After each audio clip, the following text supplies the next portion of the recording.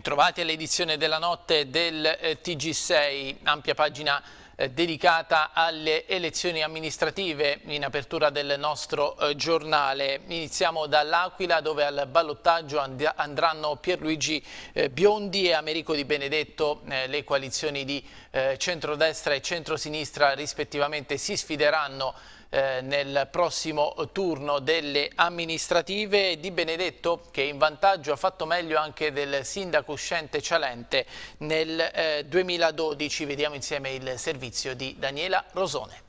Saranno i due candidati dei poli tradizionali, Americo Di Benedetto del centro-sinistra e Pierluigi Biondi del centro-destra, a contendersi la vittoria delle elezioni amministrative del capoluogo di regione al ballottaggio il prossimo 25 giugno. Ottima la performance di Americo Di Benedetto che supera il 40% di Cialente del 2012. Il Partito Democratico si conferma primo partito tutti dicevano questo e noi pure pensavamo che andasse così, pensavamo che al primo turno mm, eh, sarebbe stato difficile ma non impossibile, infatti non è stato impossibile perché ci siamo andati eh, vicino. Però un risultato siamo, ottimo. Siamo consapevoli che il risultato è un risultato uh, un buon risultato, carico insomma, anche di um, entusiasmo per la prospettiva uh, futura del ballottaggio, quindi siamo uh, abbastanza tranquilli ma non perché abbiamo la certezza di avere la vittoria in mano ma perché ripartiamo con delle fondamenta che sono le fondamenta della credibilità che è quello che ha permesso a noi di raggiungere questo obiettivo. Buono comunque il risultato analizza Pierluigi Biondi, candidato del centrodestra, riunitosi all'Aquila all'Aquila dopo 15 anni per queste elezioni. Dovevamo farci conoscere, ma non tutto è perduto. Beh sì, soprattutto considerando che due mesi fa il centrodestra sembrava che dovesse fare da sparring partner a un centrosinistra schiacciasassi, invece abbiamo trovato l'unità, abbiamo fatto una buona campagna elettorale, abbiamo guadagnato un sacco di terreno e lo dimostra anche il fatto che comunque eh, le liste del centrosinistra rispetto a quelle del centrodestra portano un distacco del 18-19% circa, adesso poi vedremo i dati definitivi, mentre fra i candidati questo distacco si assottiglia all'1 all'11,5%. Naturalmente è una forbice importante che però noi contiamo di poter recuperare intanto perché nella seconda fase non ci sarà il dato del traino delle liste ed è evidente che il centro-sinistra le ha più forti avendo gestito il potere negli ultimi dieci anni in questa città. E il secondo dato è che saremo, continueremo a portare la nostra proposta di città in modo tonico, siamo in corsa e magari contiamo pure su un po' di, di affaticamento da parte del centro-sinistra. E mentre si vocifera dell'arrivo di Berlusconi la prossima settimana, ma sono solo rumors, per il resto raggiunge il quorum la coalizione civica all'Aquila chiama con Carla Cimoroni, male l'Aquila Polis di Trifuoggi, male il 5 Stelle. Ed ora nel prossimo servizio andiamo a vedere la uh, composizione del Consiglio Comunale nell'ipotesi in cui vincesse il centro-sinistra e in quella in cui dovesse vincere il centrodestra. Se dovesse vincere al ballottaggio il centro-sinistra, otto seggi andrebbero al PD, tre alla lista Il Passo Possibile, due al Movimento Democratici e Progressisti articolo 1 e uno a ciascuna delle cinque liste Sicurezza Lavoro, Cambiamo Insieme, Territorio Collettivo, Abruzzo Civico, Democratici e Socialisti e Socialisti e Popolari. Se dovesse invece spuntarla il centrodestra, sette seggi andrebbero a Forza Italia, quattro a Noi con Salvini, tre a Fratelli d'Italia, Alleanza Nazionale, due a Benvenuto Presente, l'Aquila Futura e uno all'UDC.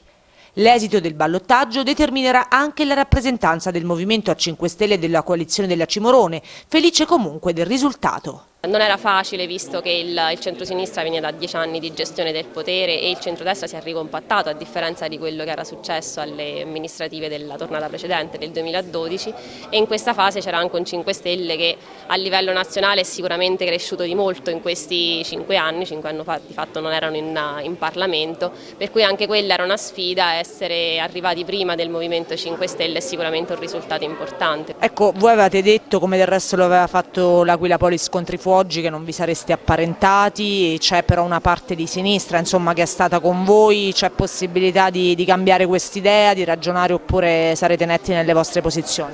No, assolutamente no, l'apparentamento non, non, si fa. Restano fuori sicuramente Giancarlo Silveri di Riscatto Popolare, Claudia Pagliariccio di Casa Pound e Nicola Trifuoggi di L'Aquila Polis, deluso per l'andamento del voto. deluso dal fatto di non essere riuscito a far passare questo messaggio di rinnovamento, di rinnovamento totale. Io ho sempre detto che qui il centro-sinistra e il centro-destra si equivalgono politicamente a livello sostanziale perché hanno, alle spalle hanno gli stessi gruppi di potere economico.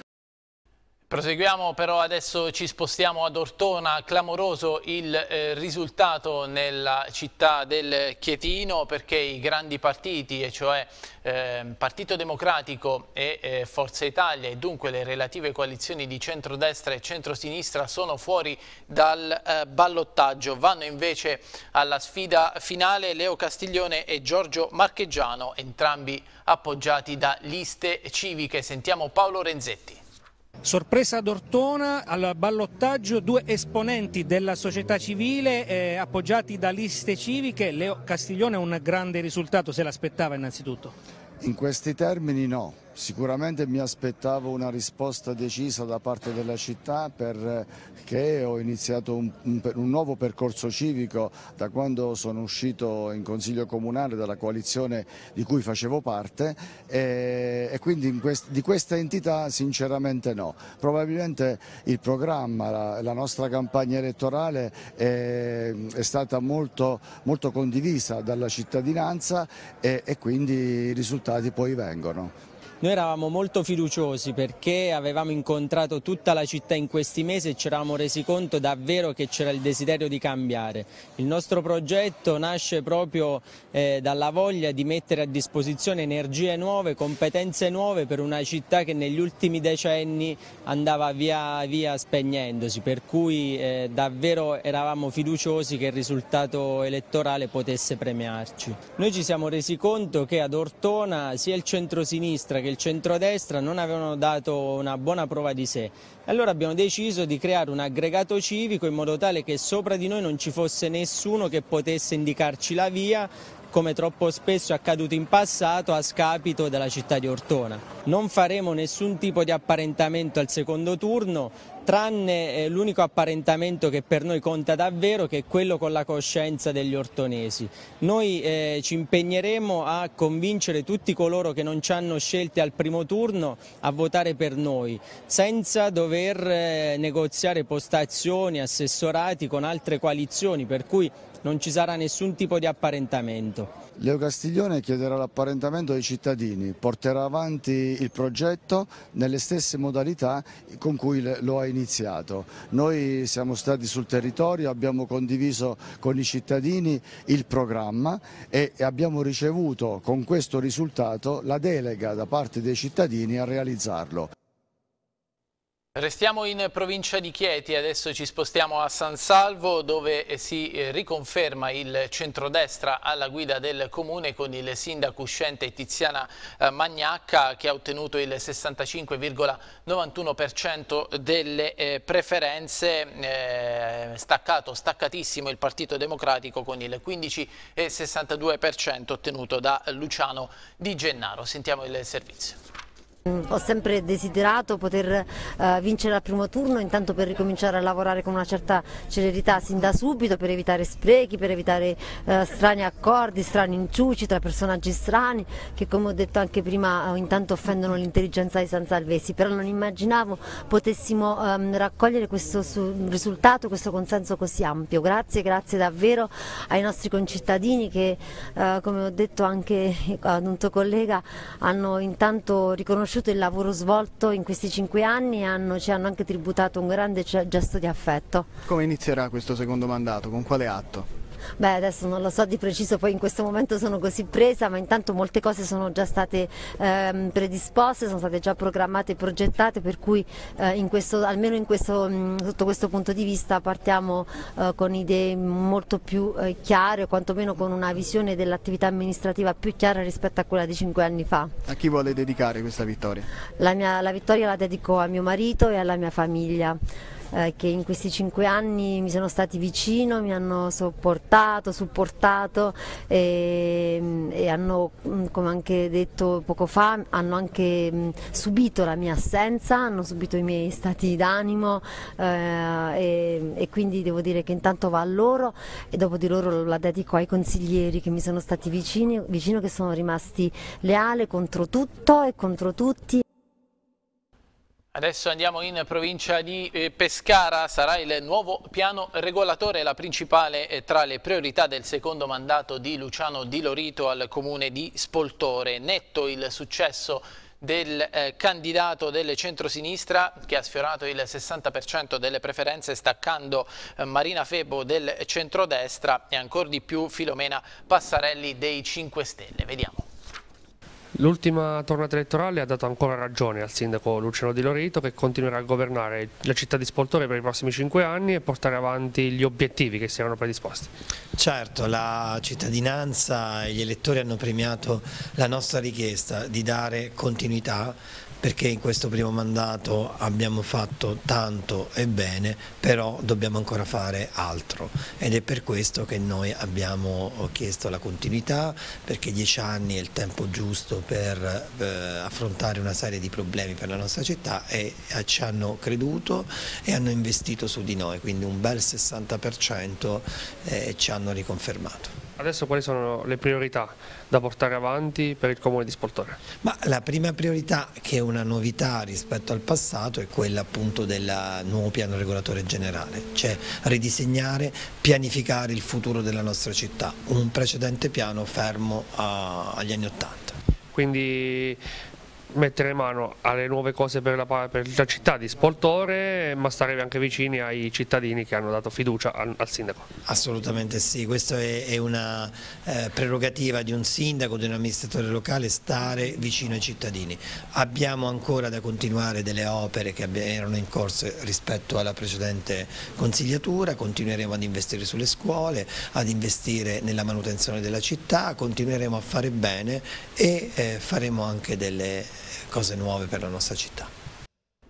Gli altri risultati ad Avezzano sarà ballottaggio tra il sindaco uscente Giovanni Di Pangrazio, candidato del centro-sinistra che si è attestato al 44,14% e Gabriele De Angelis della coalizione civica insieme sostenuta anche dal centrodestra che è arrivato al 34,95%. Ballottaggio anche a Martinsicuro tra eh, Massimo Vagnoni sostenuto da una coalizione civica in vantaggio con il 48,14% su Paolo Paolo Camaioni appoggiato anche egli da due liste civiche che ha ottenuto il 27,13%. A Tortoreto invece vittoria al primo turno per Domenico Piccioni della lista Siamo Tortoreto che ha ottenuto il 28,39%. Ad Atessa a spuntarla è stato eh, l'ex direttore del TG1 Giulio Borrelli alla guida di una lista civica Uniti per Atessa. Borrelli ha ottenuto il 43,48%, amplissima la percentuale anche a Tollo per la riconferma del sindaco uscente Angelo Radica che ha ottenuto il 73,61%, percentuale più o meno simile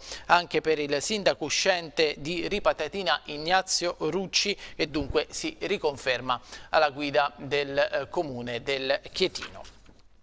Ed ora andiamo ad ascoltare il commento a questa eh, tornata di elezioni amministrative, a questo primo turno da parte del Presidente della Regione Abruzzo Luciano D'Alfonso che ha sottolineato il buon risultato eh, complessivamente soprattutto nelle aree eh, metropolitane per quanto riguarda il centrosinistra e il Partito eh, Democratico, anche eh, ribadito come ad Ortona ci sia stato un evidente eh, problema di, ehm, eh, di comunicazione con i, i, cittadini e poi D'Alfonso ha sottolineato la debacle del Movimento 5 Stelle. Ascoltiamolo. Mi pare che sia un risultato di piena soddisfazione soprattutto per quanto riguarda le grandi aree urbane. All'Aquila un vero e proprio capolavoro che premia il lavoro di dieci anni di classe dirigente e il lavoro anche di questo centro-sinistra ampio, di un vero e proprio campo riformista che dentro di sé ha anche i semi di una grande alleanza di centro-sinistra che è stata ottimamente guidata da Chicco Di Benedetto. Ma voglio evidenziare come col giudizio elettorale di ieri si è riconosciuto anche il grande lavoro di una cultura di governo che ha visto nel sindaco precedente Massimo Cialente e nei suoi principali collaboratori e colleghi di sfida di governo un grande risultato. Così come interessante, oggettivamente un grande riconoscimento è il risultato ad Avezzano, dove il sindaco è stato capace di assumere impegni e mantenerli nei cinque anni passati ed è capace di farlo anche per i prossimi cinque anni. Davvero una grande stretta di mano a Gianni Di Pangrazio perché la questione di Avezzano era ancora più impegnativa. Sono molto soddisfatto per Spoltore, mi piace molto il risultato di alcuni comuni, per esempio Tollo, dove non avevamo dubbi, ma soprattutto a Tessa con lo straordinario successo del centro-sinistra a guida Giulio Borrelli. E lì si dimostra quando uno lavora con tenacia, con intelligenza, con passione e scommettendo sulle idee alla fine i risultati arrivano. Sono dispiaciuto per alcune situazioni puntuali, per esempio ad Ortona e a San Salvo, lì si rivela come dobbiamo rifertilizzare il territorio dal punto di vista del centro-sinistra, a Ortona e a San Salvo e anche qualche altra piccola realtà minore. Noi dobbiamo ricominciare a scommettere sull'immaginazione, sulla programmazione e anche su una certa radicalità programmatica. Per quanto riguarda invece l'esito dei cosiddetti contrarianti, io non sono meravigliato. C'è un giornale in Abruzzo che ha scommesso sui contrarianti, oggi quella classe dirigente e quel giornale raccolgono gli esiti dello zero della proposta politica. Lasciamo la pagina delle elezioni amministrative ma continuiamo con la eh, politica che si incrocia con la cronaca giudiziaria. Dopo la decisione del eh, GUP del Tribunale di Pescara che lo ha rinviato a giudizio nell'ambito del procedimento Soget, il sottosegretario alla Giunta regionale Mario Mazzocca ha voluto dire la sua sulla vicenda producendo anche le carte che a suo dire riusciranno a scagionarlo già dal primo grado di giudizio. Mazzocca ha anche annunciato azioni legali contro l'ACA e ehm, ha detto eh, di volersi dimettere da delegato regionale al servizio idrico integrato. Sono racchiuse in un documento di un paio di pagine le controdeduzioni di Mario Mazzocca alle accuse mosse verso di lui dalla Procura di Pescara, che ha ottenuto il rinvio a giudizio da parte del GUP del Tribunale Adriatico nell'ambito dell'inchiesta Sogget che riguarda i crediti inesigibili del Comune di Pescara e che vede Mazzocca imputato assieme a Lorenzo Sospiri e a due dirigenti dell'ACA, Gaetano Monaco e Domenico Ludovico, accusati a vario titolo di abuso d'ufficio in concorso, falsa attestazione a pubblico ufficiale e falso falso ideologico in concorso. Mazzocca si dice convinto della sua estraneità ai fatti e danneggiato dall'ACA. Nessun favoritismo, quindi, ribadisce il sottosegretario, la delibera di giunta del comune di Caramanico, che secondo l'accusa avrebbe favorito ACA, è stata votata all'unanimità e non a maggioranza, spiega Mazzocca. In più il debito con ACA di 22.000 euro circa, dovuto ad una rottura di una condotta per un locale adibito a cantine non utilizzato, è stato saldato a maggio del 2016 dilazionato in 14 rate. Mazzocca annuncia azioni legali contro l'ACA che a suo dire è l'unica responsabile della situazione venutasi a creare e che ha portato al suo rinvio a giudizio. Per quanto mi riguarda, fin da domani eh, interesserò il mio legale per avviare una decisa azione risarcitoria nei confronti di ACA eh, a fine di accertare la vicenda e soprattutto per avere un risarcimento di un danno che io ho finora subito e su cui a questo punto non voglio più soprassedere. Chiaramente l'atto immediatamente successivo all'avanzamento di questa azione esercitoria sarà quella di riconsegnare nelle mani del Presidente D'Alfonso la mia delega al servizio idrico integrato per evitare anche solo ipotetiche e possibili situazioni di incompatibilità. Ed ora la crisi al comune di Teramo è arrivata al eh, capolinea questa crisi eh, politica. Il sindaco Maurizio Brucchi ha deciso di portare domani il, eh, in consiglio comunale una proposta complessiva di fine mandato e di chiedere la fiducia ai consiglieri. Se la proposta non passerà, tutti a casa due anni prima della fine eh, della eh, legislatura. Sentiamo il servizio di Tania Bonnici Castelli.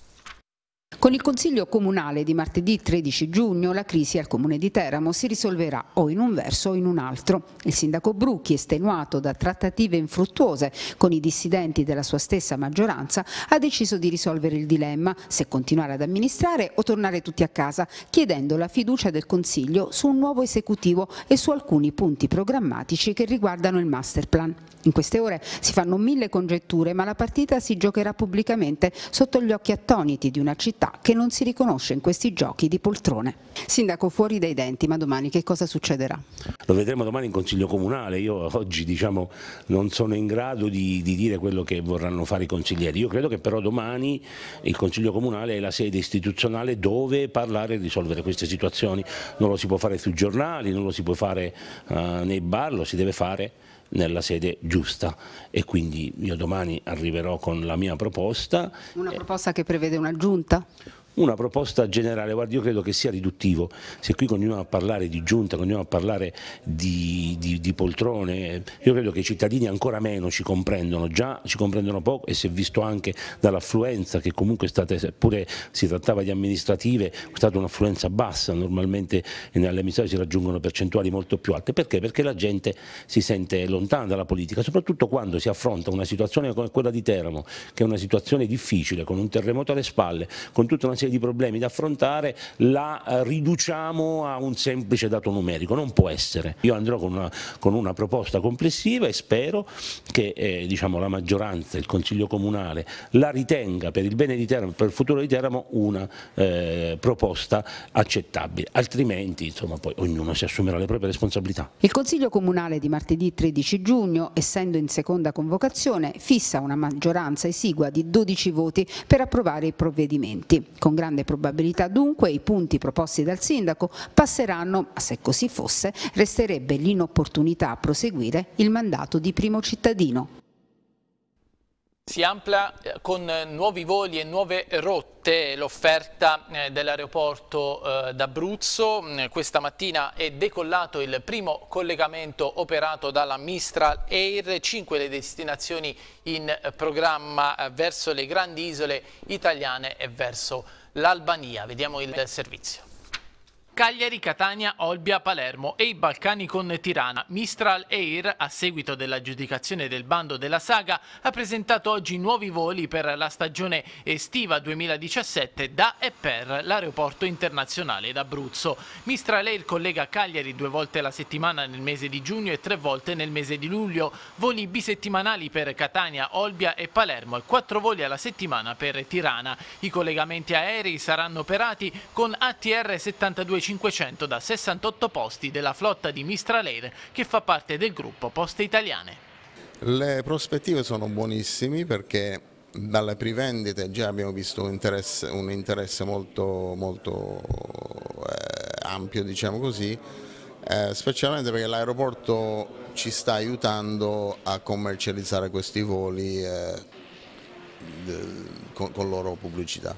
Ecco, come avete trovato l'aeroporto d'Abruzzo? Cioè, qual è la vostra prima impressione? L'aeroporto d'Abruzzo per noi è stato sempre interessante, ma avevamo gli aerei per noi sbagliati, diciamo così, perché in, eh, gli aerei jet eh, è difficile fare, fare concorrenza a, a Ryanair. Con l'ATR abbiamo trovato un, una nicchia di mercato collegando l'aeroporto con questi, questi eh, mete interessanti ci auguriamo che sarà un, sarà un, un progetto che durerà oltre l'estate. Sì.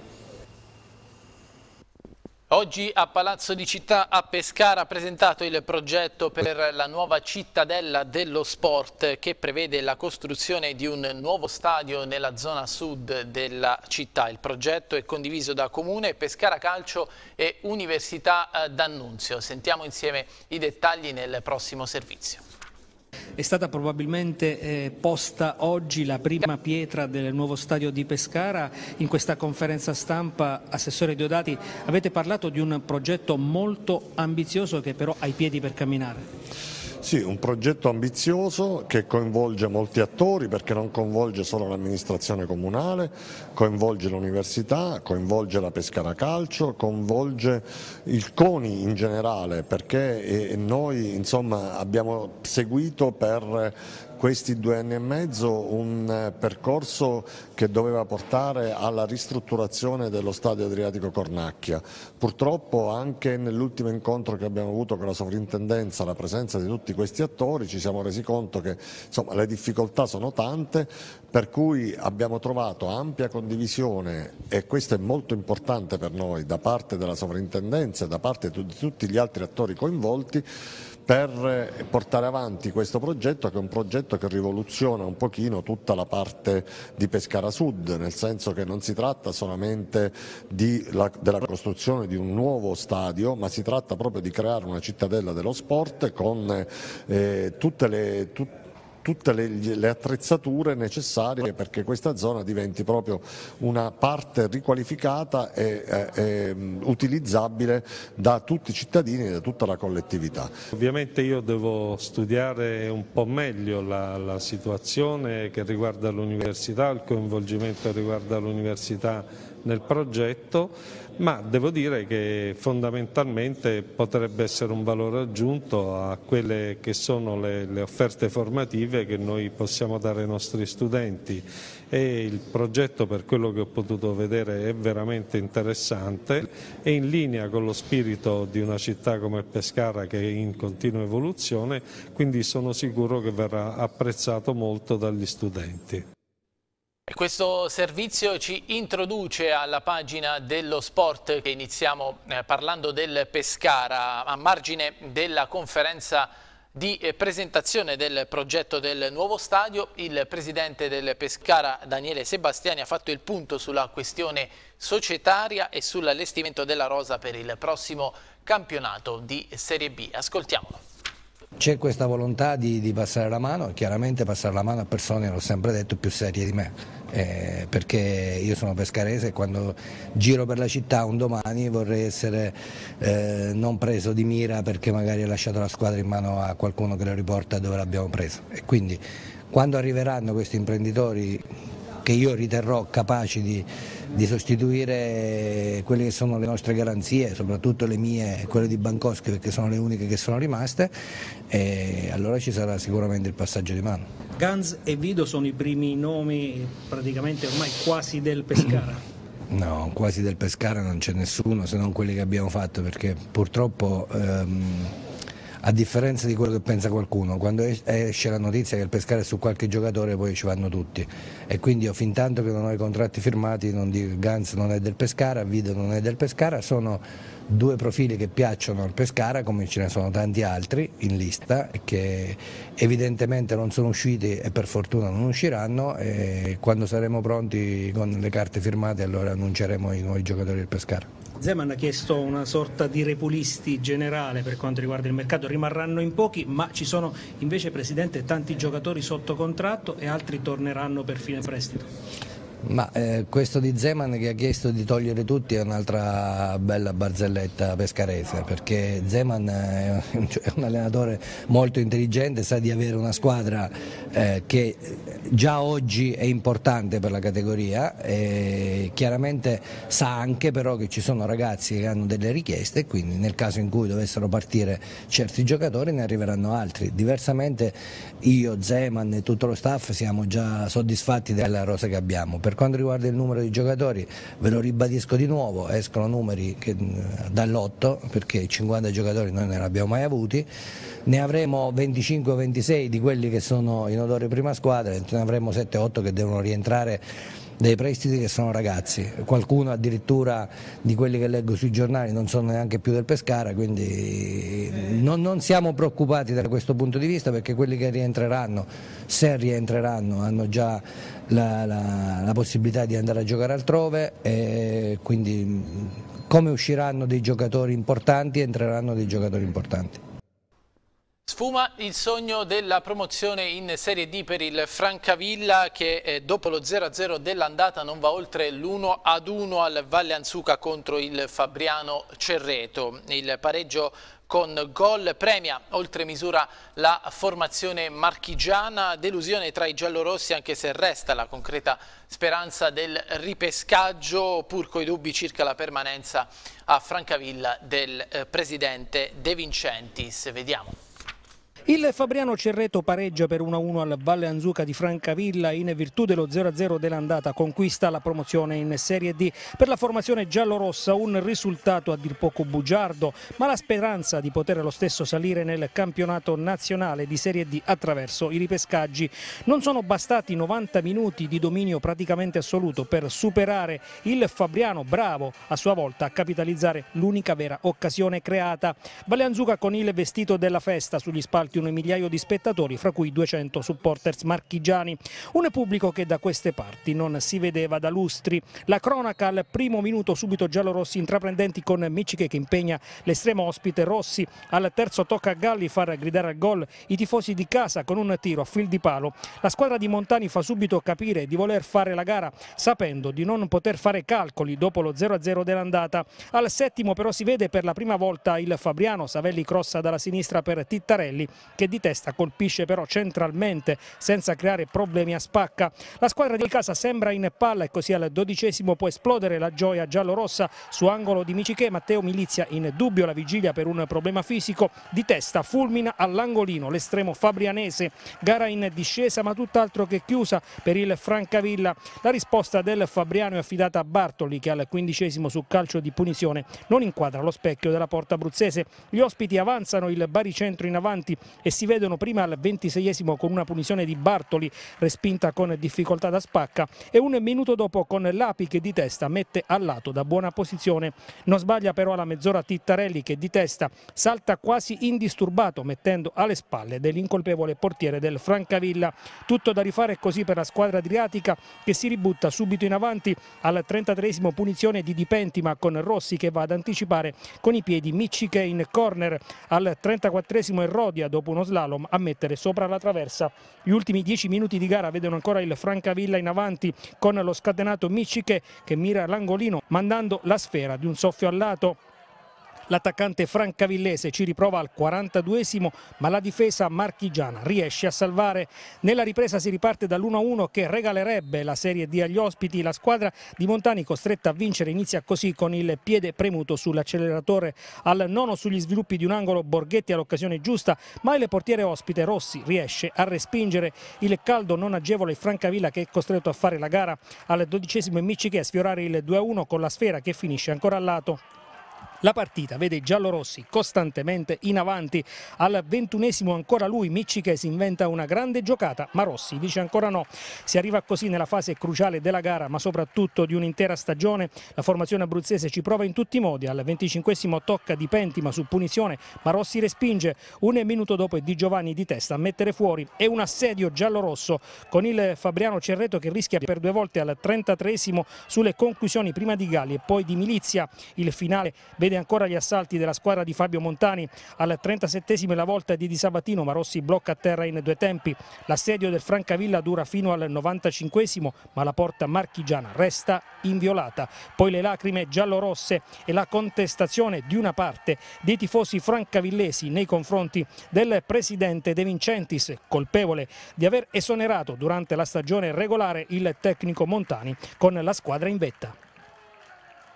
Per quanto riguarda le contestazioni non mi interessano, lascio agli altri le, le, conclusioni. Per quanto riguarda quegli applausi a me sono cose che ti fanno molto piacere perché viene riconosciuto un lavoro, un lavoro viene riconosciuta anche la serietà della persona. Come ho detto a un tuo collega avrei voluto tantissimo regalare una gioia a tutto il popolo giallo-rosso, alla città, ai tifosi.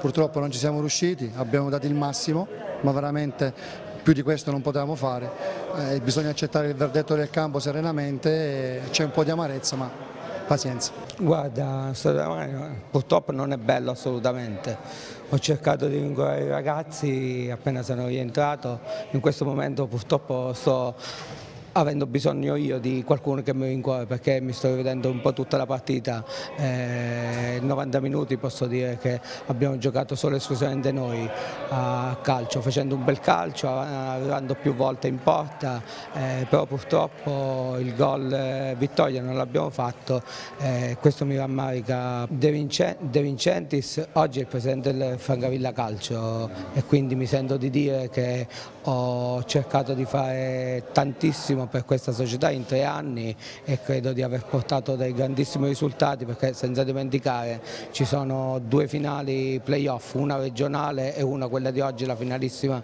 eh, nazionale, eh, dove da oggi in poi bisogna pensare solo al ripescaggio ma se non siamo primi siamo secondi e quindi eh, il futuro del Francavilla Calcio potrebbe essere tranquillamente in Serie D.